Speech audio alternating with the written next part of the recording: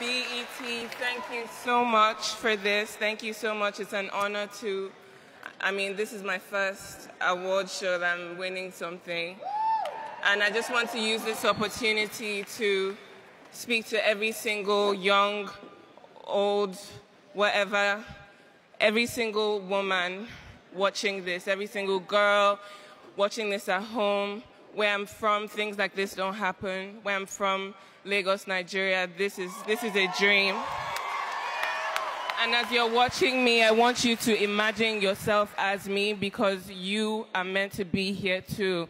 And so I'm, I'm dedicating this to every single young woman, every artist, everybody that is striving and dares to dream. I dare you to get up from your seat and go for your dream and fight for yourself because you can, you can do it. You can do it. You can be here. And take this as a sign. If you were waiting for a sign from God, take this as that sign. It will be.